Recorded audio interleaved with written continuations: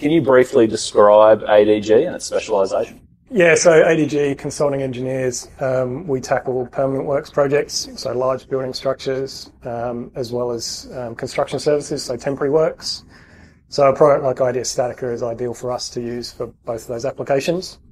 Um, and I guess in my role as Chief Digital Officer, one of the things that I'm really interested in is interoperability and moving data from platform to platform.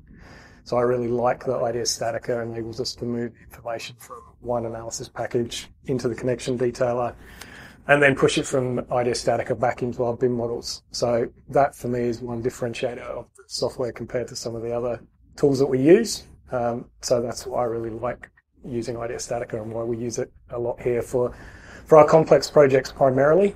Um, but yeah, the flexibility of moving the data backwards and forwards and the ease of use, like the user interface is really, really good, really modern. And how long have you guys been using Idea Statica and would you recommend other engineers to use? Yeah, we've been using it, I think, for probably um, up to five years now, I think. Um, and it started off with a core group of um, small users who were using it for really bespoke type of connections that they couldn't couldn't really get to understand without the application like Idea Statica.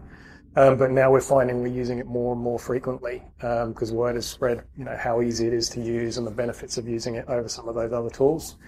Um, so now it's used within ADG across 37 users. Um, so it started off with just a small group, um, and now we're up to 37 users. Brilliant.